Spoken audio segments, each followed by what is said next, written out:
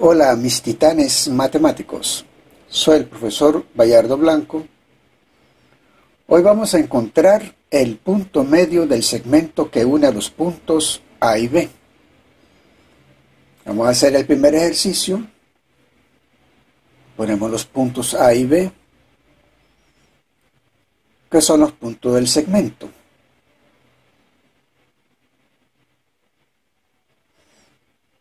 Escribimos la fórmula del punto medio y vamos a sustituir sus valores.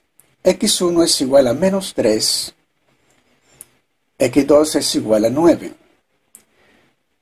Restamos menos 3 más 9 nos da 6. Y dividimos 6 entre 2 es igual a 3.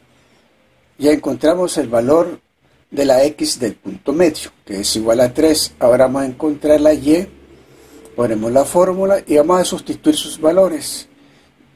y1 es igual a menos 5 y y2 es igual a 3. Menos 5 más 3 nos da menos 2.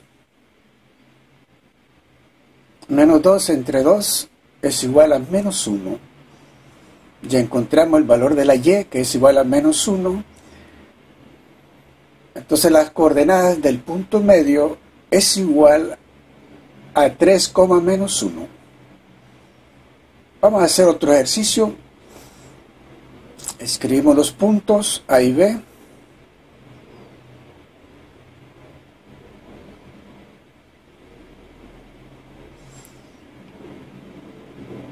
Escribimos la fórmula y vamos a sustituir sus valores x1 es igual a 6, x2 es igual a menos 4.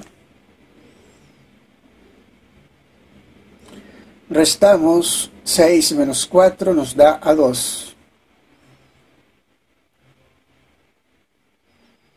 Y dividimos 2 entre 2 es igual a 1. Ya tenemos el valor de la x que es igual a 1. Vamos a encontrar el valor de la y. Escribimos la fórmula, sustituimos sus valores, y1 es igual a 3 y y2 es igual a menos 7. Restamos 3 menos 7 es igual a menos 4. Menos 4 entre 2 es igual a menos 2 ya encontramos el valor de la y que es igual a menos 2. Entonces, las coordenadas del punto medio es igual a 1, menos 2.